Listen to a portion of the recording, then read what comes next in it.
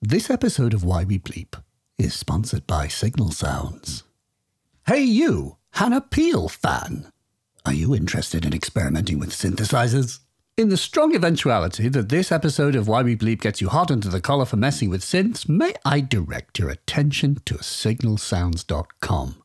Yes, they are a retailer of great repute and stock the most interesting of things, including the Rolanda Harkorgatron 67, the brand new Binkelflex 94, the Music Easel Command, the Merg Vocadur, Descartes Driam, and the new Prophet 5 and 10, some of which are real instruments. So if you like really nice people who really stock really real music equipment, navigate your clicks via the telemedium of a mouse to signalsounds.com. That website again, it's signalsounds.com.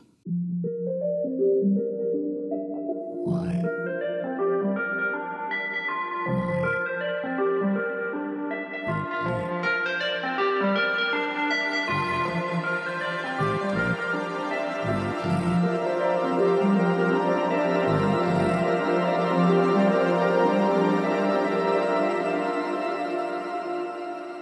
Hey, you, Hannah Peel fan. Welcome to Why We Bleep. And today I'm extremely proud to say we've got Hannah Peel on the show. Yes. Northern Irish Emmy nominated BBC Radio 3 Night Tracks presenting composer, violinist, and synth fiend, and all round top human being, Hannah Peel. Yes, don't worry about it. She was born in Craigavon, west southwest of Belfast, but moved to Barnsley, which is extremely east southeast of Craigavon, at the age of eight. And according to Yorkshire Live, Barnsley features the broadest of Yorkshire accents. And it's interesting to hear how Hannah's voice is obviously, she's got that deeply northern Yorkshire twang. It is one of my favourite accents, that. And Hannah, in true northern fashion, has played with colliery brass bands as part of her Mary Casio project, which is a wonderful uh, music project. But what we talked about today was a more recent one, which is to say that Hannah has got a new record out. It is, in fact, Sunday today, no matter when you listen to this. And a couple of days ago, no matter when you listen to this, was Friday. And on that Friday, she released Fir Wave. Uh, not to do with furry things, but to do with trees. Fir wave, which is a thing, a phenomenon that we talk about. And this record itself is a phenomenon. It is a remaking, a reimagining of the 1972 KPM 1000 series record Electro Sonic. This is a library record which was produced by just some person called Delia Derbyshire and also Brian Hodgson and Don Harper and it was produced as a, a, library record. It would be music that you were royalty free, able to slap on other things. Does that mean if I bought a copy, I could like slap it over this? I've missed a trick there if that's the case.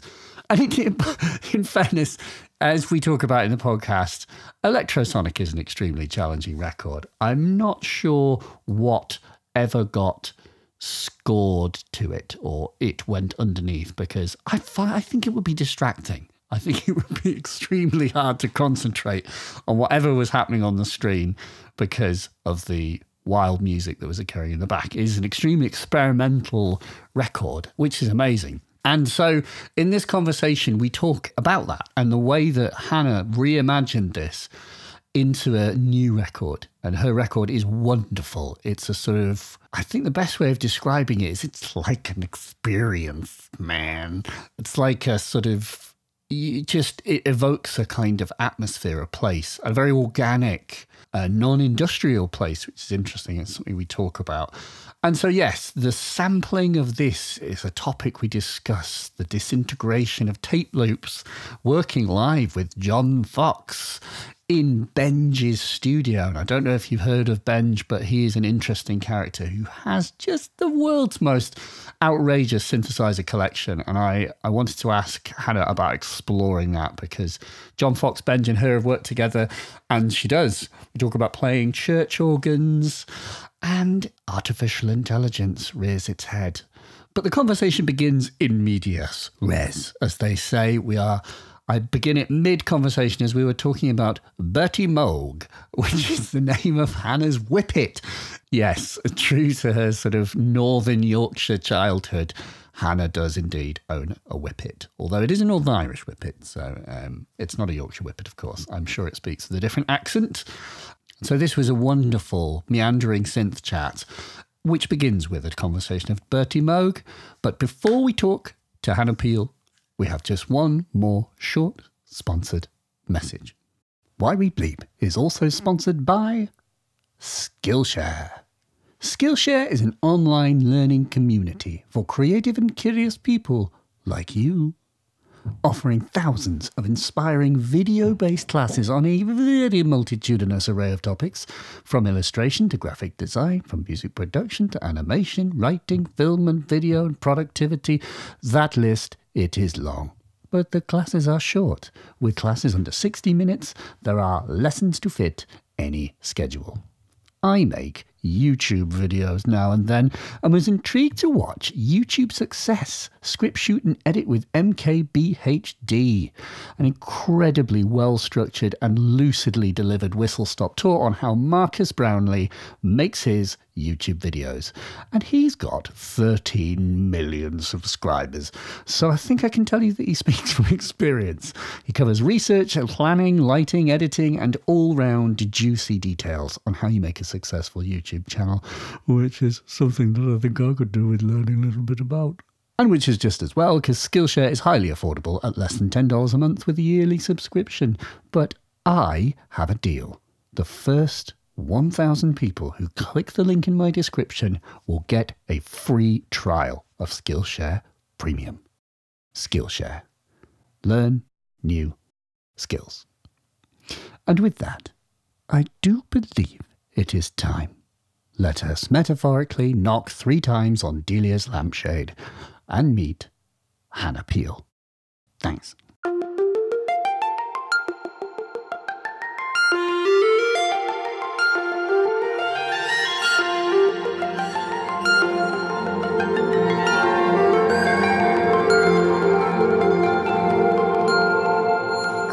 Under the desk and then I can take out for walks when I need to walk and it gets me out of my studio so I'm not sat the whole day.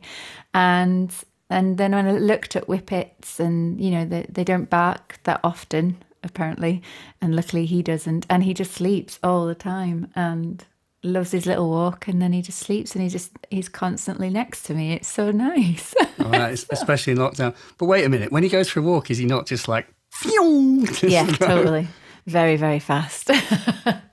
yeah, the whole walking the dog and getting out, there was, um, I've mentioned this before, there was like an interview that I keep sort of thinking about where it was a Gold Panda talking about, mm-hmm. um, where he wrote um, one of his early albums and he was basically like, the dog walking was integral because when I was making the music, I would then have to leave the studio and go for a, a walk with the dog. And it's that break that um, kept me fresh and interested.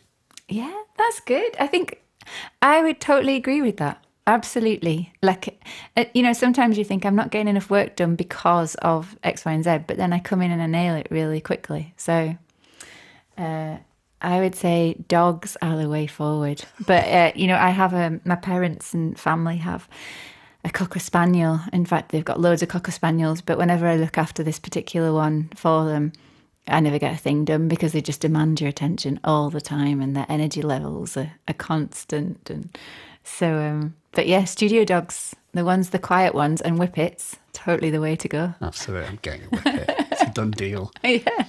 And they look so elegant and lovely. They do. Yeah, they are. Is it sort of grey and kind of, or is it? Oh, yeah. Some people do, but he is, I've called him, you like this, I've called him Bertie Moog Oh my goodness. And I did want to call him Bobby Bobby Moog, but then I was like, I, I, quite liked Bertie, and it does suit him. But he's a red brindle, so he's kind of striped like a tiger, and he's got white paws and a white tip on his tail.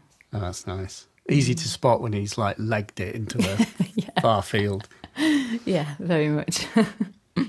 so, um, I suppose the place to begin is this album, um, Fir Wave, uh, which when I f- first sort of read the title, I was like, I was kind of, I thought about it. I was like, Square Wave, sine wave, fur wave. I don't know that one. Um, and then sort of read a little bit about the the concept, and I suppose like the question to you is kind of is really to get into that, like the what was the inception and what is the process of, or what was the process of making it like for you? Yeah. Um, firstly, can I say I really like your podcast series? Oh, thank you. Uh, a lot of the people you've interviewed are people that I follow online and and really like, um, or know even as well. Yeah. So amazing. thank you. um, But yes, fir wave. Fir wave is a pattern of trees, a pattern of fir trees that can be found in only in certain places around the world on mountainsides, and it's where the wind hits the front of the fir trees, and gradually that causes them to die down, but it allows the trees behind to grow. So you constantly get this wave formation that's formed over time, like a long period of time. And if you look at the certain mountainsides, there's one in Canada and one in Japan, that they look like wave formations. And I thought this was a beautiful way to kind of sum up the record, that connection with nature, the patterns in nature, and how that relates to music in general, but electronic music specifically for this record, and the energy and the the kind of notion that there is no difference between a violinist and, a, and an electronic artist. We were all of the same thing. We were all shaping sound in a different way. So I do hope a lot of people look up the word fir wave and, and don't mistake it for being like furry rather than fir trees. But yes, the the album and the conception of it started with EMI Production own um, all the rights to the KPM Library series uh, records. I mean, there's hundreds, thousands of them, but one in particular is the KPM uh, 1000, which is electrosonic, and that is Delia Derbyshire, Brian Hodgson, and Don Harper.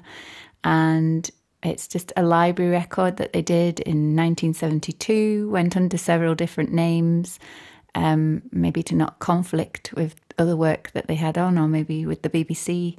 Um, and it is a series of tracks that explores, I guess, more of it has certain elements of nature to them, but it's more about uh, industrial and kind of scientific lab type sounds. So you can imagine them being used in documentaries and things on TV. Um, It- when I listened to it, I did wonder, like, who used this? Like, and where was it used? very experimental, isn't it? Jeez. I was like, this would.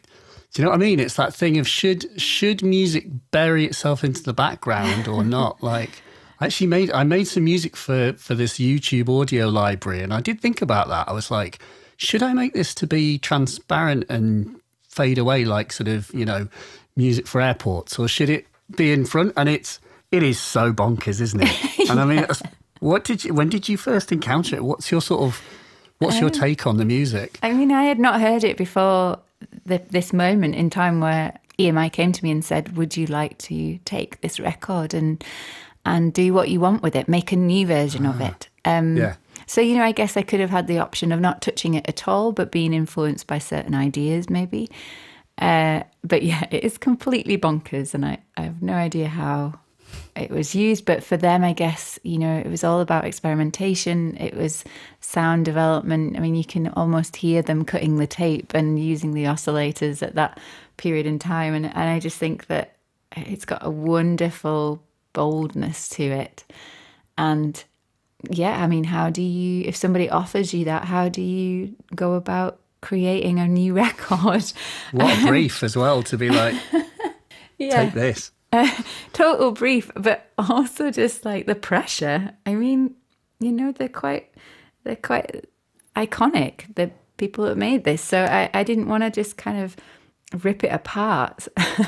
but I, essentially I did. So, you know, instead of, I guess instead of treating it like a remix project where you're taking tracks and then obviously using melodies and certain beats, I sampled the actual sounds that are in the record. So I just did clips of things that I felt were quite clear and maybe not so obscure, but had a neut- neutrality to them that meant that, that I could easily transform them into uh, in Kontakt in native instruments and make them into a, a MIDI instrument. And so then I can just play those sounds myself and make a whole record without looking back, but using those wonderful sound textures and layers that were created. So um, and so that's yeah, so that's the inception of it, and that started it off. And it wasn't. Um, it was definitely you know it was it was main intention was as library music. It wasn't for release at all.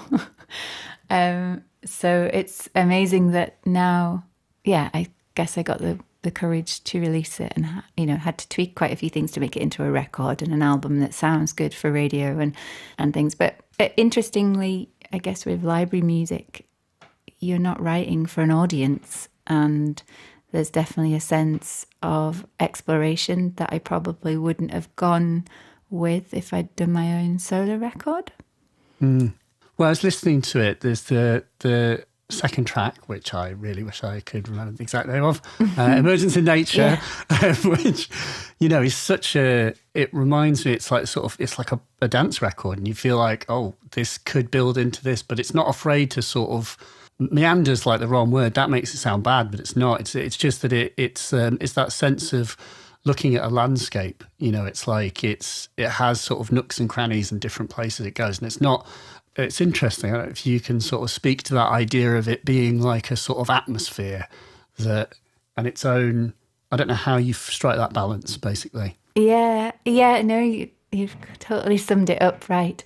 I have been dying to make more of a dance kind of record for quite a while, but I guess the kind of projects that I take on in terms of, you know, film and TV or commissions with certain bands like colliery bands or orchestras it means that sometimes I don't get the chance because I'm already busy doing something else. And so I guess I was never going to make a full dance record. It was always going to have atmospheres and layers and textural things. And I guess when you look at the kind of the angle that I went at. In some ways, you know, the, the original record was very industrial aware, very scientifically aware. There was also kind of, I guess, around that time as well, a kind of Soviet style and things that was starting to creep into a lot of people and mm. and the social context. Whereas right now, it's it's about the eco, it's about recycling. It's it it almost felt like you know, a record like this would have to encompass different areas and different sound worlds in order to kind of speak of everything fully, if that makes sense. Because it's instrumental and I can't, I didn't want to put vocals on it or anything. So, although there's sort of the beautiful, like, and Wind Shadow, there's vocals, isn't there? Sort of like choral, yeah. a lovely choral element. Is, is, that right? Have I got that right? Yeah, yeah. Totally. Yeah, love that. Is that and is that you, or is that from the record? Was that from Electrosonic, or was it? No, it's me. so what I did with my vocals, I treated it in the same way as I did with the instruments. So it's a it's a sample of my voice that I've then played, um, and then underneath that is the kind of whirring, gurling sound that kind of builds and explodes, and that is um, a lyra uh, like one of oh, those yeah. noise machines that yes. I'd I got and I didn't know how to use. But of course, when you don't know how to use something, that's the best thing, isn't it? Because then you just end up totally exploring it without any preconceptions. So yeah. um, I don't even know if I could get those sounds again. but but yeah, it, that that was from that. So it just yeah, I, it's funny, isn't it? Like it, the original record didn't have vocals on, but then I was like, well, I've heard you know interviews with Delia where she talks about going home and playing the spinet and getting completely lost in the sound of it. And that's a side of her that we don't talk about quite a lot. And I guess the vocal side of me is something I don't talk about a lot. Yeah. Mm. The uh, I remember I went to a there was a talk by the Radiophonic Workshop and there was they talked about blue veils and golden sands and how that sort of like nee, nee, nee, sort of weird like sound that is her voice and it is apparently her voice like I don't know, through probably a whole bank of filters and whatever processes, but apparently so, and then chopped up. Oh, just As you, just as you're doing the Kontakt, really. Oh, hey. Oh, there's a bit of serendipity I didn't know. exactly. So that's amazing. Thank you. yes, Alex, I meant to do that all along. oh, yeah, of course. No, no, I know. It's a direct reference to Delia's uh, techniques, of course. So, but I suppose then, if you're like, because if you're listening to the record, how do you decide which bits that you want to say, well, I'm going to use that, I'm having that? Or how do you, what do you pick? What do you leave out? Yeah, I mean, a little bit of um, experimentation, but I guess it has to be a sound that will work across a lot of different keys and things. So, in terms of tonality, so you know, I guess that it has to have something that is a, a, a neutral kind of element to it that allows for me to manipulate it and and also to be long enough for me to sample it and create it into mm. a new instrument. So, you know, the short stuff I did take and I used, and it, it's fine. But also, when you want to create that kind of ambient a, a sense as well, and the more flowing things, you do need longer things. So I was just on the lookout for that side of things more, I guess, because that's what I wanted more. I mean, the beats and everything, they don't come from that record. They come from, uh, I've got a little, uh, it's, uh, it's a mini pop. It was Keio mini pop um, like one of those little drum machines that would have been attached to an organ at the time. Um, Is it um, the oh the mini, Keio mini pops? Yeah. Like the oh, that would be like the Inception Korg, i.e., like yeah. Korg before it was Korg. Yeah. Amazing. Uh, so I've got one of them just lying around, and yeah, so that makes up quite a lot of the beats that are on there.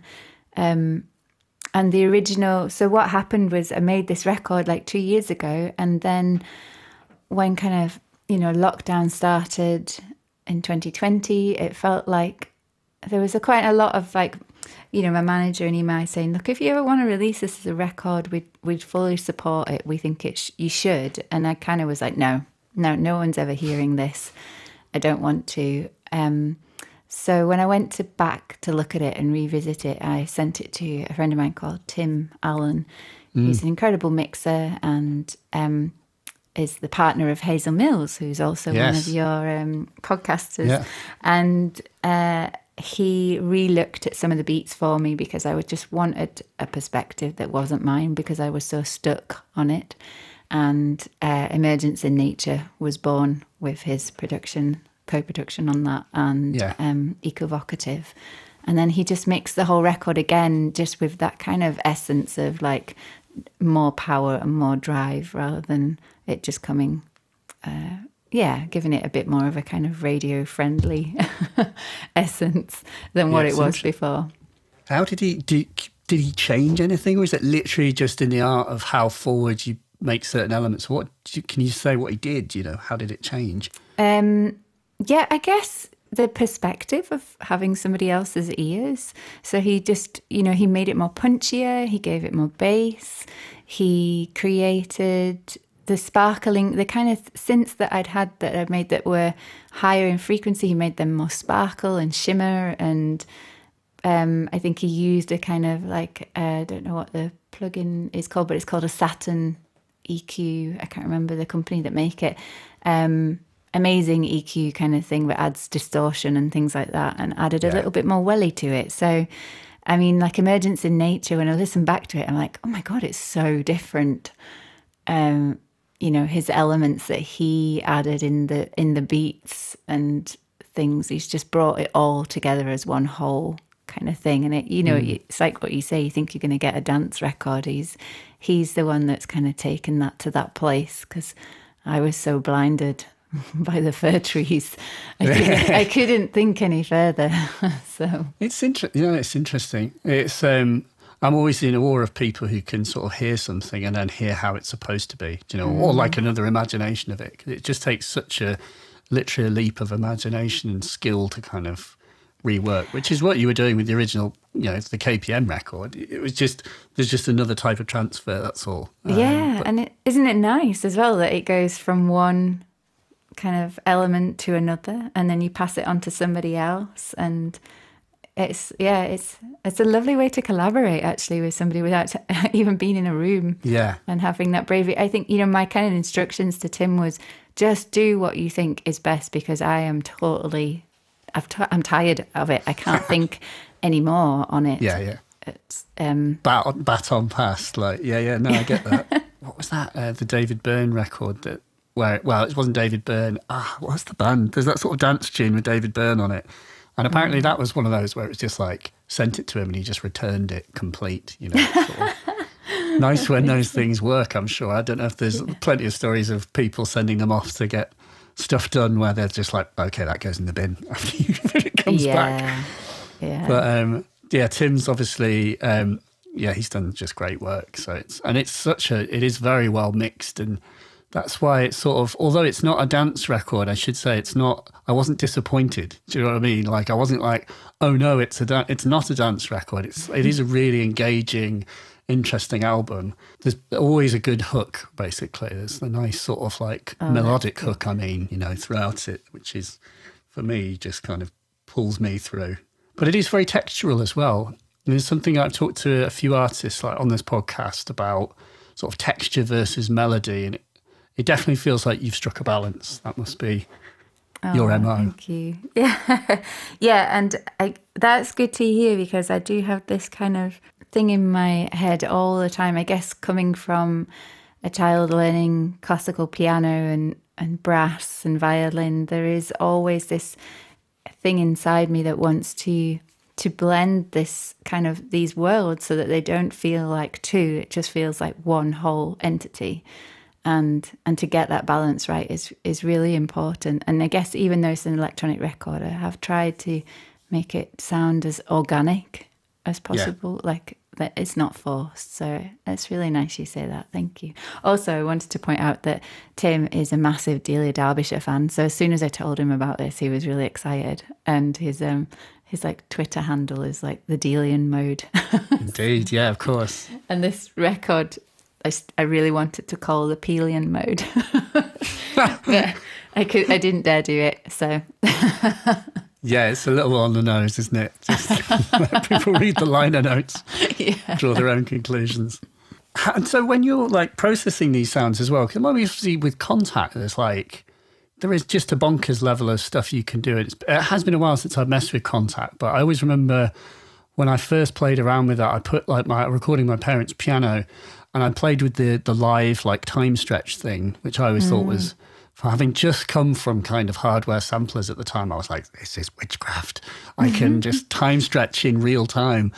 But were you not tempted to kind of that was you know when you were talking about having shorter and longer sounds, were you not tempted just to pull back that little time stretch mode or whatever on Kontakt and just make them long? What limits did you put on yourself with regard to reworking? Were you not allowed to re make them unrecognizable?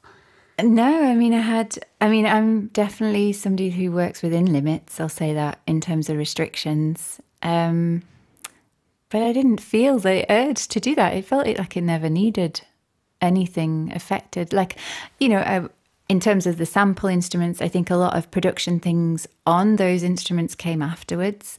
Um, you know, using kind of Soundtoys and crystallizer and, and things that that feel like you're stretching the fabric of time. And um, but yeah, the actual purity of the instruments, I guess, was quite important in some respects, and also a nod to the past and history. So, um, so no, I didn't actually play with that or feel tempted by it either. So, could you talk a bit about sort of the, the like the typical composition process? Do you have a typical process? And I suppose that it might be just this record, it might be to do with composing to picture, but it's what do you do and what have you learned basically? What are the hard lessons you've learned about composing? Yeah, oh, that's a good question. um, the um, I would say the main majority, the thing that I've learned the most is not to be precious, and things do not work out all the time. And if you know, there's a certain element that if it isn't working out, that you might beat yourself up about it. And I've certainly done that in the past. But in the last few years, I've become more accustomed to knowing what my skills are and not being afraid of them and walking away from something if it isn't working, but keeping it in your back pocket. Because sometimes you write a mail. Like the other day, I was working on something and I did this whole hour of recording this piano part, and I was like, right, this is great. I'm going to use this. And then I listened back the next day, which is always good for fresh ears. Mm-hmm. And I don't like it at all.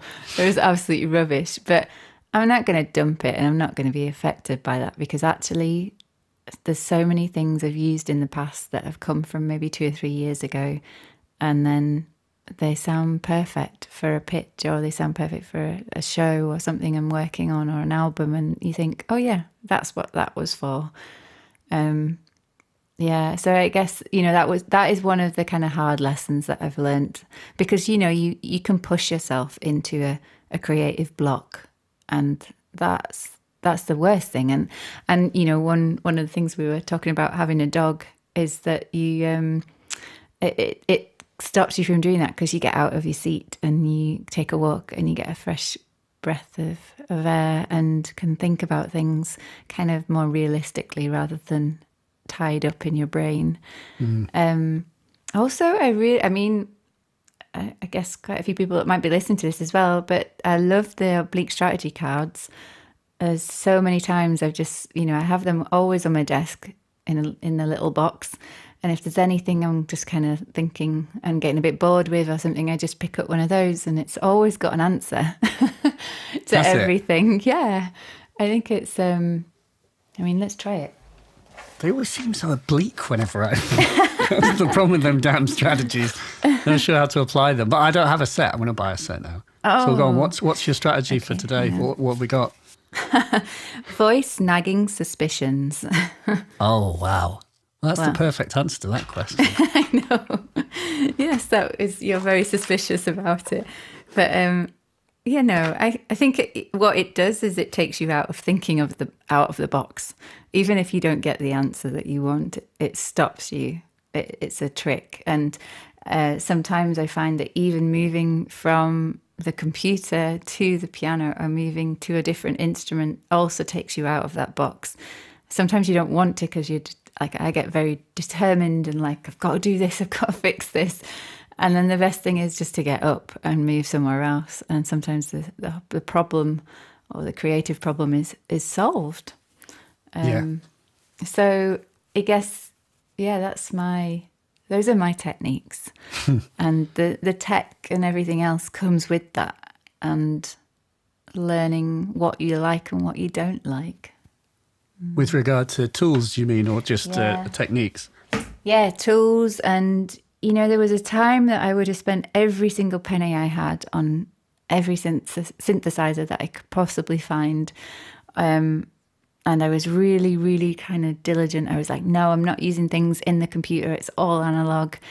And, you know, that time I learned a lot of, I learned a lot of things, but now I find that I've kind of honed it down to just a, a, few that I use all the time and some that I keep for nostalgia because they're really cool. And, you know, I've got a Jupiter 4 and I, I just hardly use it. It's just there, but I can't get rid of it because it's just so full of memories and, and beautiful sounds that I did create on it at one point. But you know it's like everything you kind of move don't you and you change as your as your life changes so yeah, honing the kind of skills and and that that's taken time and years, but I guess it's been a valuable lesson. Which of the studio tools would you take to your desert island? What is the sort of the, the honed subset? Oh my god. Okay. Um all right. Well, yeah, laptop, my Universal Audio Apollo. Oh yeah, I'm speaking to you through one as well. Yeah, um, obviously a mic, because you can pick up anything and then you can manipulate it in the computer. And I mean, if it wasn't too sandy, I'd take. I've got an LA610 Universal Audio, and oh yeah, it's just beautiful for everything. It just makes everything sound gorgeous. The 610 specifically, and the is it? Oh, that's just the pre, isn't it? Yeah. The, or is it the one with the the LA2A in it? No, it's just the pre. Just the pre. Mm. Yeah, it's nice. It's lovely. So Maybe those. I think that would be the best option. That's the full Delium like system, isn't it? The sort of modern Delium, just just sample everything. Yeah, everything shall be sampled. Yeah. Coconuts and in your backpack. Yeah can make everything you want out of it, out of nature. But say that there's one plug socket. Well, two plug sockets. There's one for your laptop, but there's also one for some synthesizers. Oh yeah, can we have electricity on the island? Of course, of course. Okay. Solar, solar, power. It's fine. oh great, I like that. Oh, it's it's funny because I've just um, I do a lot for night tracks on Radio 3 broadcasting and um, just been playing this record by Joe McKee, who's a kind of Australian composer. Um, played in some bands, and I think he's based in like a, in LA or something now. But he spent three and a half weeks on a cargo ship, um, sampling the sounds of the ship, the beast as he calls it, the creaks, wow. the metal, bowing, kind of the metal things that he could find. And he's made this whole record. And, you know, some of them you can really tell it is the ship. And then some of them it's just so beautiful, ambient, l- lengthened sounds that are just. It's a really gorgeous record. And, you know, he's done it entirely from sampling.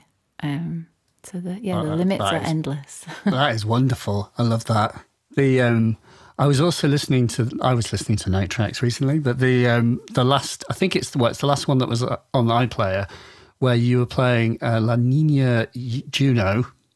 Juno or Juno and Sam Bennett's Oscilendium 8, which I noted because both of those were kind of single synth compositions, which was interesting. That sort of that notion of actually very much like uh, Mr. Benge, um, the um, the notion of doing like single synth. I don't know if that, that was what drew you to those tracks or how you kind of come across them.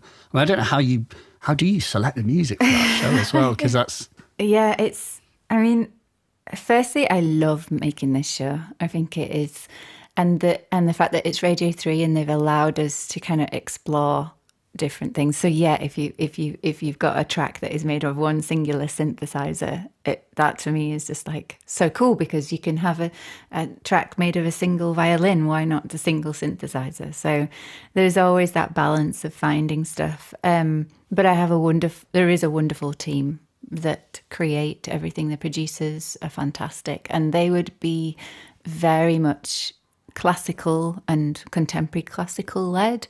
So I guess what I bring to it is the more electronic and unusual side of things. So, um, but all with that feeling of keeping it late night. So there isn't anything that will cut your ears and and wake you up. Um, you know, if people fall asleep or if people work to it during the day, then you know that's goal achieved. I think. Um, But it- keeping you interested rather than it being bland and kind of a wash of neoclassical, which is not what we want at all.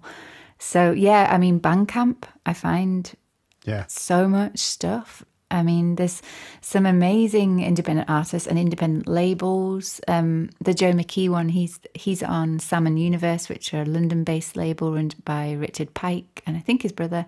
They're Australian, and I the stuff that they put out is just gorgeous.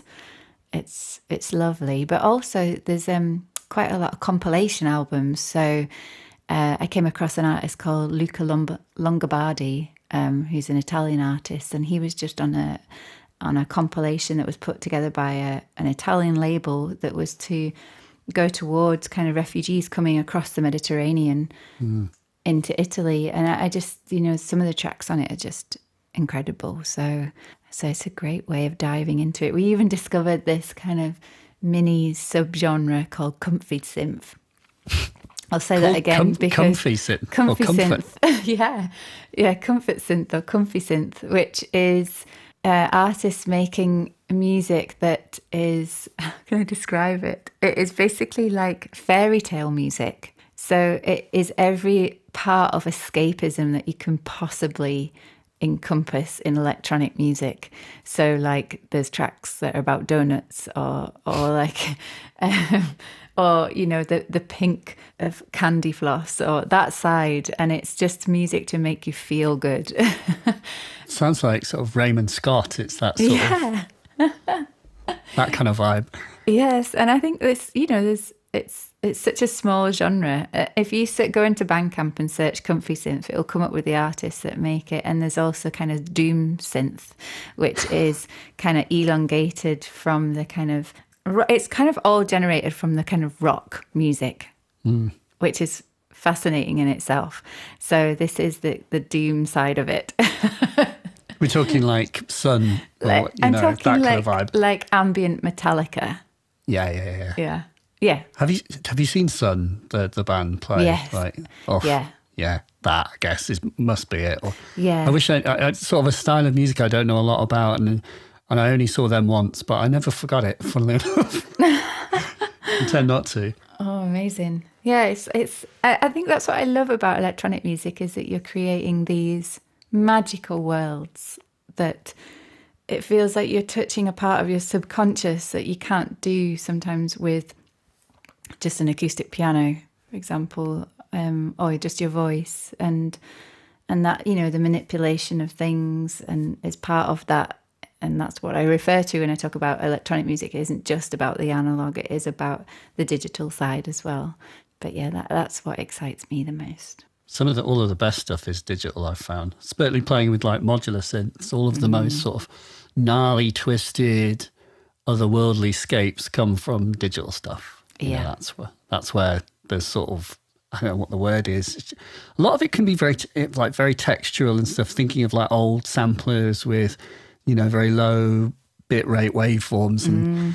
Um, and then when you're smashing them and filtering them, it has this. It does sound like waves, and except it's obviously digital. Well, it's obviously synthetic. I mean, like it's yeah, yeah.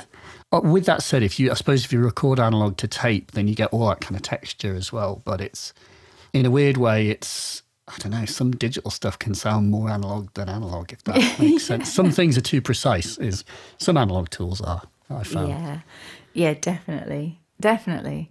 I I guess one of the things I do miss because at the moment I'm kind of up against a lot of deadlines, and you know, this when you work in TV and film, there's a lot of demands on you to make stuff quite quickly, and I do personally miss playing things and twiddling.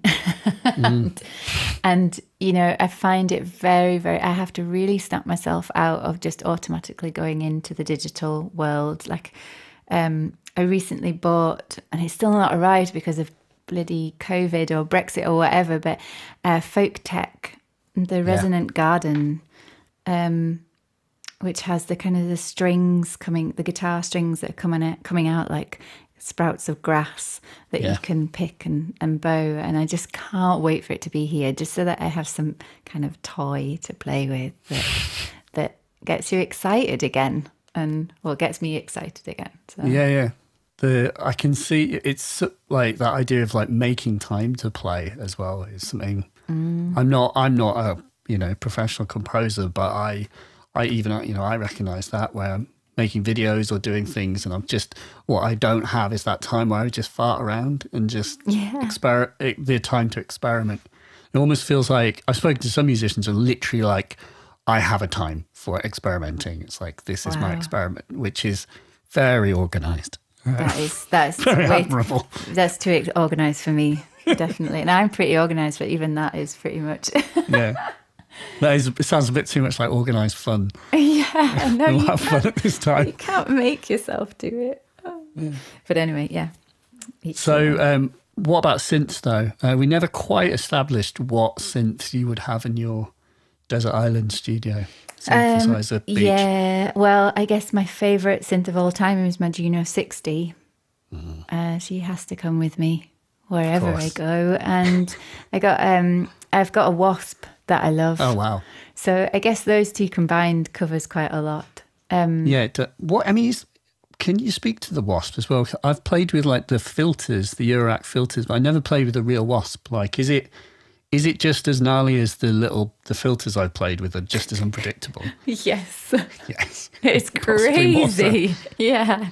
I mean, the the fact that when you touch it, it kind of creaks and the Oh, wow. plastic almost breaks. But yeah, I mean, it is gnarly as anything, and yeah, lives up to its its name, the wasp, doesn't it? So, um, but yeah, it's actually quite good condition. It's it's a it's a great piece of kit, and you know, it's one of those ones that makes so much noise and it's so light and fits in your bag, can come anywhere. But yeah, its limitations, I think, are sometimes its its beauty. Mm. So that and the Juno 60, I think, would be That's very admirable. Yeah. the two. Definitely, yeah, definitely. That's my choice. the Juno does it.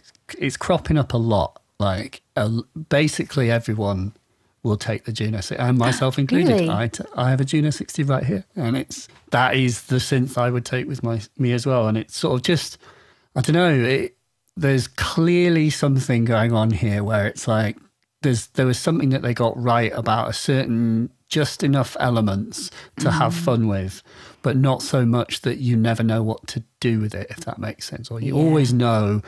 I you know, I don't feel uh, how you use it, but speaking personally, like I've although I have a sixty, I use it like a six.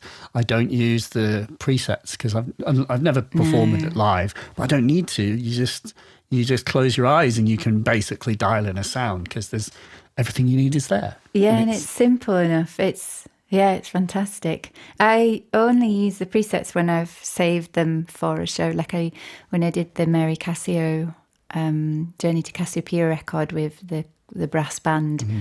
Um, she came on tour with me, and um, and yeah, I had her preset, but I had this problem with her that you know I didn't kind of think about it, but some of the components in it, it was really really cold winter, and mm. I had her in a room. It was like a kind of warehouse room that we were getting ready to play in, and it was just so cold that it just wouldn't work. And I was oh, like, wow. oh my God, what am I going to do? How am I going to re- recreate the Juno 60 for this show? And we just put the stage lights on and put them directly onto the top of the, Oh, wow. the, the, the memory board. And it warmed her up and she worked for the whole thing. Absolutely amazing. she was just a bit cold. oh, bless. She's really like a living thing. Yeah. That's what I love about it because you turn it on and there's this sound that comes out that's very quiet, but it's almost like it's singing. Um, I don't know if yours has that, but it, it's just that this kind of whirling wave of just like a loop of just this sound of her, the background. Um, Like the sort of the chorus or something, just yeah, just swirling. whirling away there on its own. Do you love it when those there's some of those synths when you turn them off and they make a little like whip kind of sounds. there's ones that kind of Yeah, freak out. Just yeah, it's just like. "Whoop." Um, do you have any like software tools that you? I mean, we mentioned Kontakt, but it's always I'm not really speak to a lot of people about software, and that's that's a huge part of making music. Yeah, no, I I tend to not. I mean, I use Logic and I use plugins, plenty of them, but uh, that's kind of this, the only software that I use in that sense. And I use a lot of sample libraries and and then manipulate those sounds. And I guess that kind of fits with my music in in that sense that there is an organic element always present, whether it be a dulcimer that's been put through uh, reversed and, and octaved and distorted or, or or an organ sound that you know I've I've got off kind of various sites um but yeah I really like uh the guy that makes all the amazing real Heinbach he called yeah Heinbach's. Oh yeah. I love his stuff I think it's Heinbach. brilliant That's yeah. prescient. We've we've got Heinbach on. He's he's been recorded for the show. yes There's there's so many like in insider references now on this, this program. I know But yes, Uh, His stuff is gorgeous. Like the landscapes he creates is beautiful, and you know all the kind of plugins that he makes is just amazing. I have not tried them. I have not tried the. I've got. The, have you tried the Gauss Looper, the new sort of, um, which is for your. It's a phone app, and it's like a sort of based on tape loopers. Um, but you know, so you can. You basically, it's like you've got a kind of cassette machine in your iPhone with looping. It's really good. How do you Um, spell that? So Gauss is G A U S S. Oh, Um, Gauss Looper. Um, and um, yeah, basically, I forget the sort of, or fundamentally, you can use it as a looper and it has texture and you can do sort of sound on sound and you can also do kind of decaying loops. So you can, oh, you know, that kind of Frippertronics and all Yeah. the sort of good stuff. Um, and it's in your pocket. So if you're, you know, out in some hallway and there's a really nice kind of reverb, you can, you know, sing into it and loop it and all that. It's just oh, like, I love that. Oh, Yes. I'll, I'll I'll get that. That sounds really interesting. Does it? Have you come across the artist Lomond Campbell? no. He's up in like the West Highlands, the west coast Sound- of Scotland. Sounds Scottish, yeah. and he um, created i think king creosote had commissioned him to make a kind of tape loop machine and he's ended up making this kind of cassette looper thing that he's called loop as in l-u-p um, and it does a 12 second delay that then uh, that then disintegrates over time. And it is gorgeous. And he's got a new record on bandcamp that i think is beautiful. So you do get that kind of william basinski um, Yeah. steve reich kind of yeah. movement. And he's just done it all on this homemade kind of tape machine um, I don't know if he does commissions. I hope he does because, like, I would, I would really want one. Yeah, yeah. did. But it looks great. So yeah, he's a good one to check out with that. But yeah, if I, I'm going to get that on my phone, the Gauss. Definitely. That seems like, but I do want, I know I'm looking at a picture of it. It looks sort of, yeah, otherworldly, like a little piece of science equipment with a tape in it. Mm-hmm. it, is it a real machine that's been reworked into, so- or did he make it from scratch? Do we know? I think he's made it from scratch, but couldn't be That's very sure on that detail. There's that. What have you ever done any digging on that Steve Reich's sort of like um, machine that he made? There is this kind of like um, you know phased kind of synth gate module thing that he built, and there's some amazing photos of him using it. But you know, obviously, uh, Steve Reich sort of famously is like you know uh, like, doesn't like electronic music equipment, but yet he had this thing that he built. Um, and I don't know, are there recordings of it? I don't know if you're familiar with it or No, I'm not. uh, phase shifting pulse gate was oh what it was called. wow. No, that sounds perfect for night tracks, but I have no idea. I did Yeah. not know about that.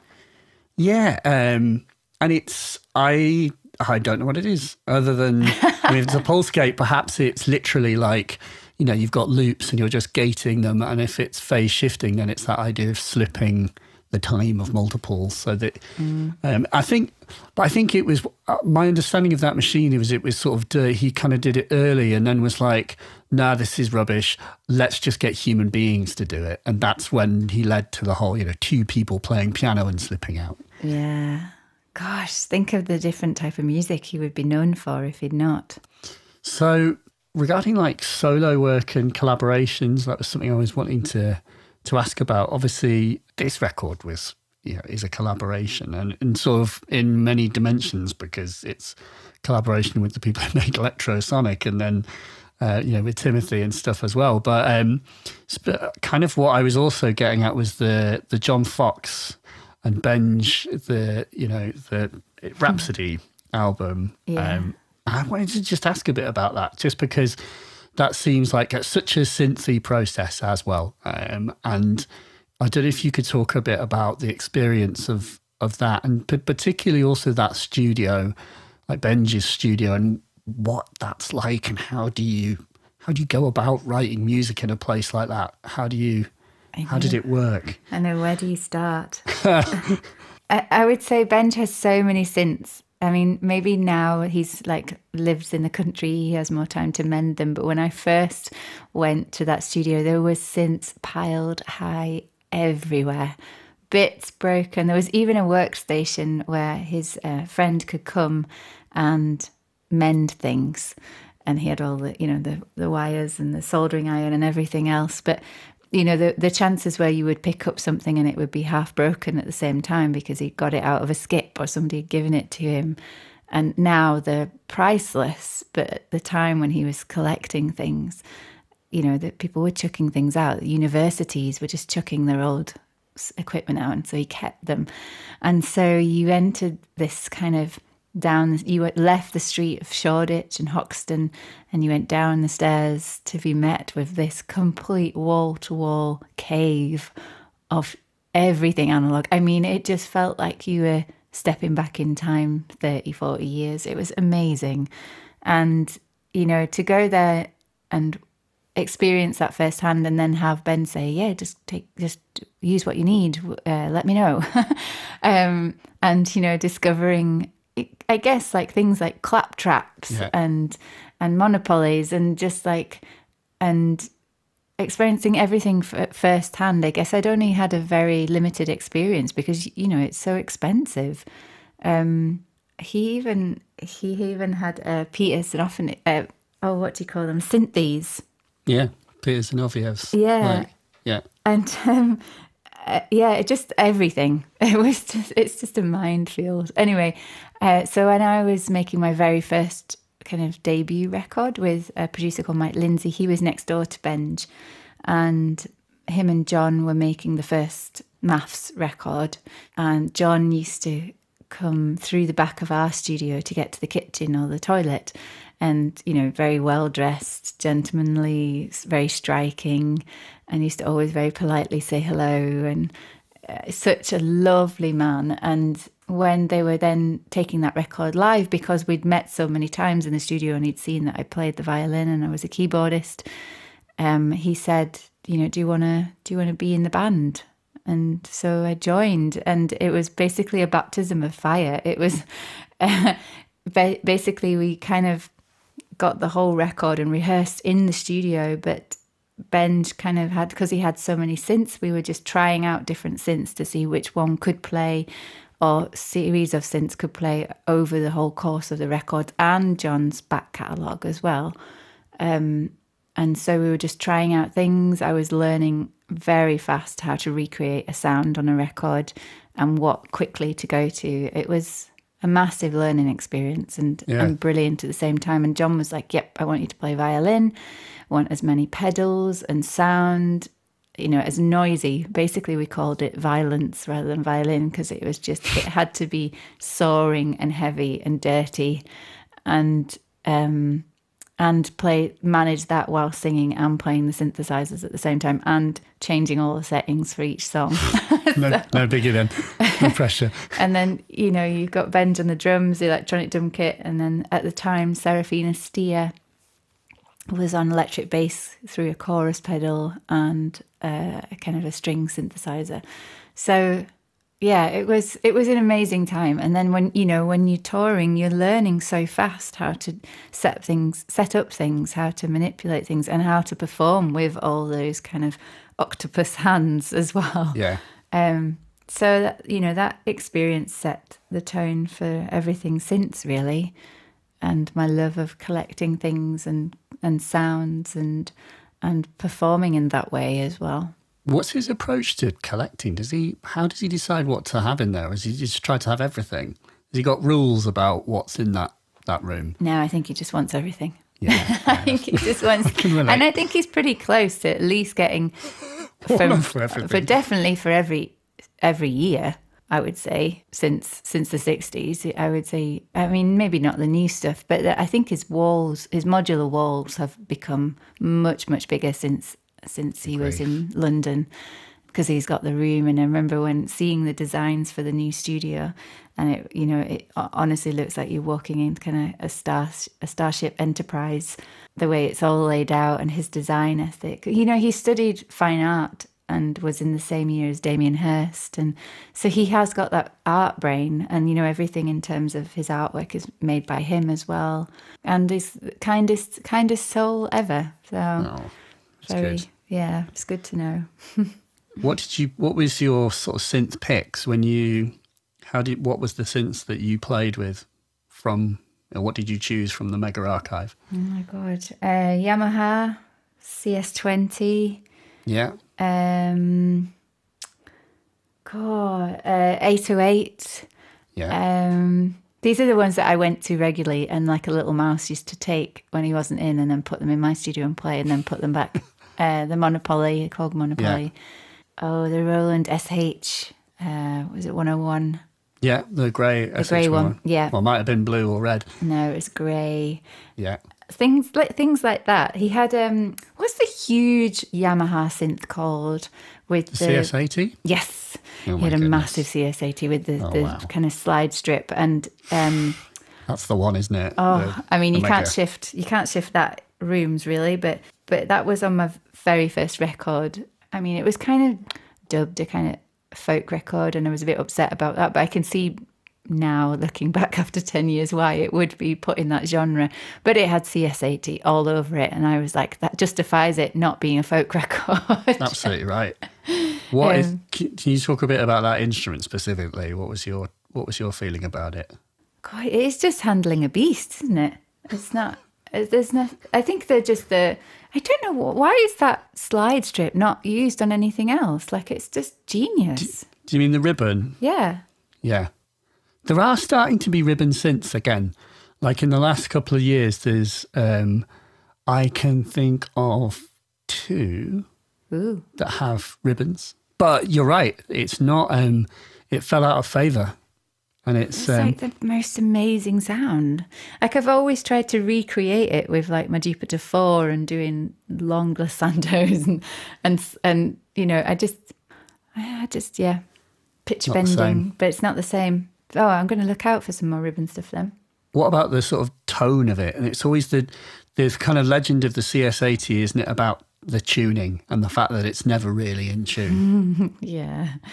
Yeah. I mean, I, I guess with everything, and what I learned very fast with Benge's collection is the nuances of every every breathing synthesizer in that place. And the, the CS80 was definitely one of those that felt like a, it felt like you were playing the organ that had a life of its own. Yeah. It's the closest to playing an organ, I think. like a like a church organ. Yeah. Have you played a church organ? Yeah, I did uh, quite a few times. And my grandfather was an organist in a cathedral wow. over in Northern Ireland. So, yeah, I grew up with that sound. What is that like? What is it like to play a church organ? well, I mean, yeah, obviously depending on the size of it, but yes, I mean, it is powerful.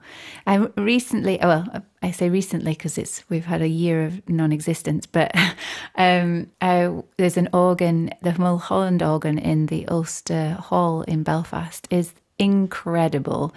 And we were there doing a little bit of filming, and I got to play on the organ. And the sound that vibrates in the air and in the room, that it's just not replaceable. I mean, it. The only thing I can liken it with was when we did the Mary Casio record with the brass band. It Yeah. felt like that, like in terms of you feel the air moving and obviously that takes 30 people to play but then the organ in itself is just this beautiful breathing thing. I mean it's i mean you, you can see why people i guess in some senses turned to religion and went to church because they could feel the air moving. I mean it's like spiritual kind of awakening in some senses hearing that loud sound and it's ornate and it looks like um so reverential i guess but Vastly, yeah, it's it's far bigger than you. I heard also, I mean, depending on the organ, that um, you know, organs. There are a few things obviously that can do this, but organs can produce infrasound. So there's sort of sub sub twenty hertz sounds which are more attributed with experiencing feelings than um, than than sort of directly uh, perceiving tones. And there's potentially there's a sort of case to be made that part of the sort of literal fear of God and the reverence comes from the fact that you are you are subconsciously experiencing tones on your body that you you can't even hear. Yeah, I would say I, I totally believe that. I totally believe that because I had you get that you get that feeling as if like kind of tingles down your spine, and I got that with the brass band when we did it, and those f- similar feelings when I looked it up. There's the, there's string theory, isn't it? That it, some people are accustomed this the kind of movement of the the particles in the air at a certain frequency um, as string theory, but as the voice of God, and not I don't believe that, but I do feel that you do, you definitely touch something that moves you because there was moments with the brass band in particular that as soon as they played a certain sequence and a swell and the the, the air moved it, it hit your gut like it made you cry. Like there's no there's this feeling of like complete expansive sound but also making you feel so tiny and inanimate like that you you don't exist as well. It's it's like overwhelming. And i guess yeah I, I mean i can see why people call string theory in that fashion. Um yeah. But you i mean you, you must have talked quite covered quite a lot of organ with sarah Davachi. Absolutely, and that was something that she spoke to. It was it's that idea of um, you can't divorce an organ from the room that it's in, you know, and it's in a sense that the whole or like the church is the instrument um, and you know and, and the congregation also part of it too because you know the presence of an audience changes the the sort of response of sound it changes the sort of reflections and um, so it's this sense that it is like you know the church is one big lung that is vibrating is kind of wild and it's it's sort of the um, it's that thing you know synthesizers in all their power and majesty. I've had this where I've made like demo videos of synthesizers and the direct sound doesn't sound as good as the kind of the very uh, as basically the camera sound because the camera's hearing the room and there's this sort of um, there's when you actually hear that very short report of sound um, it it changes things. It makes things sound fuller and meatier and um, and it's something I've tried to do in productions, like especially with drums, like drum machines, like the 808, for example. I did, I was playing with um, my one, and it's um, basically putting like really, really, really short room rooms on 808 drums, so that you can't hear that there's room on it, but it, it just makes it sound huger and fuller. You know what I mean? Yeah, yeah, like reamping. Yeah, totally. exactly. Yeah. I don't know if anyone you've ever been to Real World Studios. No, alas. Yeah, I, I'm going there in a couple of weeks and I can't wait. But they have the most amazing wood room that is perfect for reamping because you get that gorgeous warmth as well as the um, the sound. So yeah, I'm looking forward to doing that with the synths down there. Is it true that in isn't it in real world where there's like almost every room's got like tie lines or whatever you can sort of is that maybe I'm confusing that with other sort of stories, but it's the that notion that you can record in basically every room. God, I wouldn't be surprised. Like it's it's a, just a haven of sound, isn't it? So Yeah. yeah, gorgeous. I mean, what, who who would think of to build a studio in the middle of a lake? I think, like, Well, why not? Know exactly. It's just like, yeah, Somehow I imagine like Benge in there. If it was kind of more like Doctor No's layer, it's that sort of he seems to have that aesthetic with his uh, his his studios have that kind of layer like you know Oh, he Bond villain. definitely. I mean, you should see his house. It's like something out of Thunderbirds. Yeah, I think I have, and that's what's partly I've seen some stills of it. I'm like, I see why you left London. Like to leave it for that is it is like yeah Tracy Island stuff. Uh, and his doesn't his desk have like a phone on it? Yeah, Like it's got. It's got I these love that. three Love that. orange phones. I think it was. fr it must have been. It was a mixing desk from a BBC studio or something. Yeah. Um, But yeah, I mean, I'm so glad we're talking about Benge because he's one of those people that people should know about and don't know about. Like in yeah, only very few people in the electronic world know about Benge. He's like a secret, hidden identity. Is it where, like I came across him because of that album. The is it? I forget the number of systems, but twenty Twenty, yeah, twenty. 20 yeah. systems, um, which was an album for those who are listening, which is an album that is every track is made with one synthesizer, you know, and I think I'm not sure if the I think some of them, yeah, they're definitely multi-tracked, some, but I think some are just complete performances Yeah. through. And the I remember the one that really I loved was the Memorymoog one. Um, Oh, yeah. which which is just gorgeous. And was actually it was recently I read on Six Music. I was like, this is Benge, and someone's done like a sort of cover basically where they've sampled Yeah, that I. I know who that is. That's Mr. Erland Cooper. Yeah, so Erland would have worked with Benge in Shoreditch and worked with me as well. So Yeah. very close world. But yeah, yeah, it's nice that his his work has been taken into different angles as well. Exactly. I was like, yeah, that's um but it is I do find that interesting that sort of the discipline aspect and it's like a nice way of exploring a synth because it does when I'm sort of my other kind of like nerd uh, fanboy is for Aphex Twin and like there are a lot when you sort of unpick the clues in codes he's another example of how to sort of manage an absurd, obese synthesizer collection because the key takeaway I've had is he doesn't seem to use it all at once. Like he's not using a bit of everything on one track. He's he's making a small cluster of instruments that's like his own mini little studio. And mm. just as Benge's like saying, I'm just going to use, yeah, sure, I've got 5,000 synthesizers, but today I'm just using one. And it's, I feel there's a lesson there in, in, in a healthy way to manage synthesizer addictions. Like that's, Yeah. that's how you do it. Yeah, it's yeah, I mean it's feeding the love, isn't it? Just by giving that one a time and effort to that one synth. It's like it's precious almost, isn't it? Rather than kind of showing off. I, I think I mean I think that as we said before, limitations are key to making good music sometimes because you just want to there's so many things to explore and it can explode your your mind otherwise. Yeah, and I remember when Ben first got his first Buchla, and it, you know, obviously all the coloured wires everywhere, and he then he got a music box one, and I remember saying to him, "Can I borrow it?" And it was just so expensive at the time. He was like, "No, I'm still learning Oh, it." wow. and I, you know, I remember looking it up and going, "No, there's no way I'm spending that money." But it's crazy. So, um, I suppose the final question what is the future of music technology? What for you is the, AI, definitely, without any doubt. what aspect? What to do what?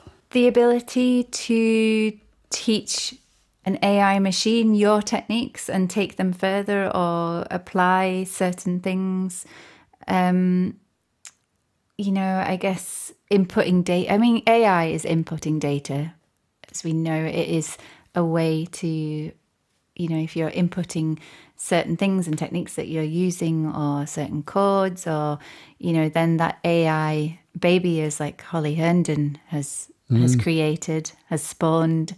Um, you know, she's creating music with a synth, which is singing uh, uh, an AI, sorry, that is singing her vocals, how she would do them, and collaborating with herself. And I think that's, I think in in the future we'll have maybe our DAWs and our uh, plugins will maybe have AI attached to them, so they learn how we are using things and how we want to use them better. And I guess there's a lot of technology around kind of um, mid-air haptics, you know, where you don't have to necessarily touch stuff. You can control things with your body or your hands. And I mean, you know, Imogen Heap's obviously done that kind of Yeah. Mew Mew Mew gloves and things, but I think there's even a further stage of that. I mean, we're we're using technology to talk over Zoom and things like that. So, so I guess the next stage of that is to be able to change things that are in the air using our cameras and connecting that with the music. And that's how I would like to see it going.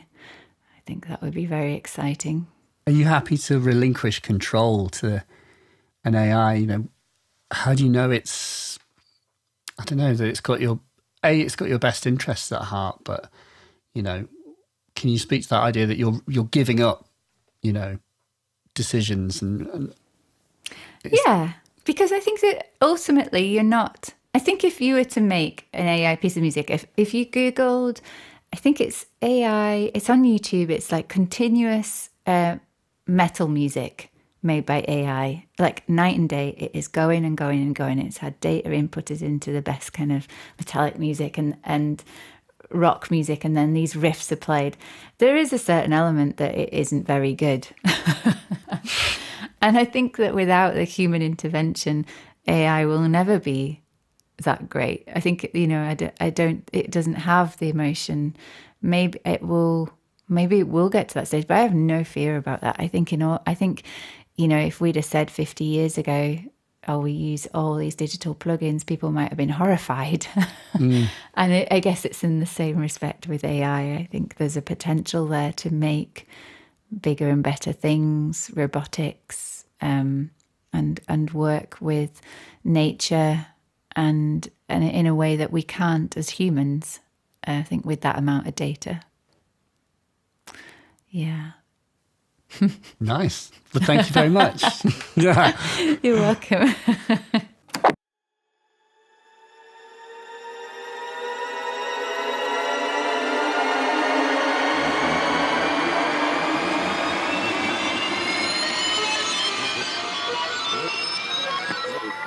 Hannah Peel is ace. Thanks, Hannah. That was wicked. I loved talking to you about synthesizers. I sort of walked away from that conversation kind of energized. I was really like jazzed up. I came sort of storming into the house like like walking around like a weirdo because it's just just really nice to talk to people. I'm in this cave by myself. Uh, it is true. Like, oh my goodness, like the value of a really good chat is just it's so nice. And i think it's uh, it's something i've been reading about recently because i got this book digital minimalism which is about sort of stepping away from text-based media. What it talks about is the fact that as human beings, we're evolved with our big old brains to absolutely crave the detailed nuance of human communication, staring into another person's face and listening to the cadence and the tone of their voice and deducting their intent is absolutely what our brains are wired to do because if you're good at that, then you're good at surviving and anticipating, you know, is someone about to stab me or hit me over the head with a rock? Uh, and so that kind of rich human, human communication, of which we've been so sorely stripped of over the last year or more, has just, uh, yeah, it's kind of brought to a head how important that is. And so I'm very lucky to have these conversations with amazing people. Um, and I feel better for having them, quite honestly. And I very much hope that you feel better for listening to them. I hope it feels like you're kind of sat with us. Uh, even though uh, she was in, um, you know, Northern Ireland and I was in Yorkshire while we had that conversation. Felt like I was chatting to a person right next to me. It was wonderful. Yes, what a great person. What a good chat. All the stuff to sort of dissect there. But I think there's that moment where she was talking about colliery brass band swells with this sort of the show that she did as Mary Casio, making her tear up, making you feel like you don't exist in that moment. I thought that was a real moment of sort of transcendence, thinking about how you can truly get lost in music, literally and, well, figuratively, emotionally lost. That really sort of, I was like, oh my God, I want, I want to experience that. I want to experience getting lost in a brass band. God, I miss shows and festivals and in live events. Um, because actually, that, you know, the Mary Casio thing she was talking about, in fact, you can watch that whole show. Uh, it was at Blue Dot Festival, and it's Mary Casio's Journey to Cassiopeia. There is the whole set is on the Blue Dot YouTube channel, and it's beautiful, sort of haunting music. There's her with a um, Mopho. I was about to say sequential, but it was Dave Smith Mopho. Um, and she's got a the Juno 60 that we talked about. Her, her Juno 60. It is a Lady Juno 60. And actually, I then realised that that was in 2017, and I was at that blue dot in 2017 because I was playing a set with the early years on the Sunday night, and I missed Mary Casio's show. I don't know if I knew about it. I don't know if I knew why I should have gone, but I should have gone. But thank goodness that we can see it on YouTube. And actually, um, funnily enough, when I mentioned to Hannah, you know, I was like, oh, I went to this talk with the Radiophonic Workshop and they were talking about Blue Veils and Golden Sands. That was actually at that Blue Dot Festival that Hannah was at as well. So, um, yeah. uh, isn't it funny? Small world, Dr. Jones. Thank you, Hannah Peel. Thank you for your time and give my love and squits to Bertie Moog. And so while we can't go to a festival just right this very second and sit in a field and enjoy gorgeous organic music, what you can do is purchase the album Fir Wave by Hannah Peel and just put it on and sit in a field. And actually, that would be a really, really, really lovely experience. It is like a record that you can kind of inhabit. It's lovely and think of trees. So, purchase Fir Wave. I will put links to it below. And thank you. Now, we have had a letter to the show, and I would like to share it with you in this moment before we head on for the day. Uh, the letter comes from a Mr. Bruce Crawford, who wrote in following the recent episode with Tom Whitwell, where me and Tom talk about watching Kraftwerk in 1981. Well, let me be very clear. I wasn't invented in 1981, so I wasn't watching Kraftwerk, but people were. I was talking about watching recordings of the Kraftwerk gig, and of course, Jeremy Deller talking about it in his documentary, Everybody in the Place. And the letter is from Bruce Crawford, and Bruce was at one of the Kraftwerk gigs in 1981. And I think it would be nice to just read that out because it was interesting to, to hear his take. Bruce writes thus Hiya! Just listened to your latest chat with Tom Whitwell while driving home, and you made my spine tingle with the bit about Kraftwerk in 1981.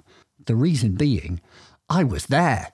Myself and my mates were at the gig at Rock City, Nottingham, which I noticed on just checking the records was for some reason postponed from May until June. Perhaps Kling Klang proved heavier than expected. I just wanted to say your description is pretty spot on. To this day, I would pick it as the greatest living gig I ever went to, and I saw Joy Division play live. I would have been 21 at the time, I am 61 now. They did the whole bit with Ralf holding the calculator into the audience for people to play notes on while the band danced at the front of the stage like anything but robots. It wasn't just Computer World, they did other stuff, including, if I recall correctly, a proper 20 minute version of Autobahn, not like the cut down version they do these days. What you said in the podcast really resonated with me, so I just wanted to say thanks. Oh, that's nice. Thanks, Bruce.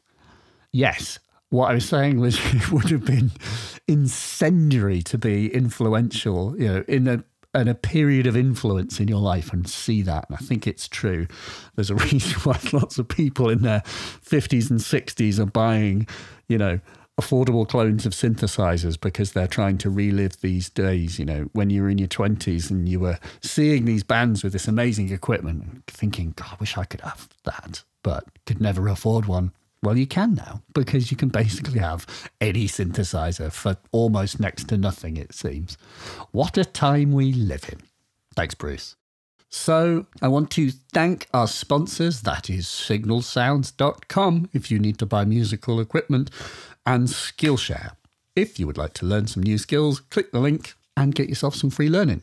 Finally, if you are enjoying these bleeps and you have enjoyed previous and you would like to enjoy future bleeps, please head your mouse click also to patreon.com forward slash mylar melodies in order to consider chipping in to the Patreon fund and therefore helping fund future We Bleeps and YouTube videos about synthesizers that I am producing.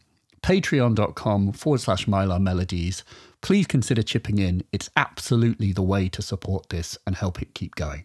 And on the next Why We Bleep, funny that Hannah should mention it, we have Mr. Heinbach. It will be very good to have him back. So thank you for your attention. Stay tuned, and we'll see you next time. Bye.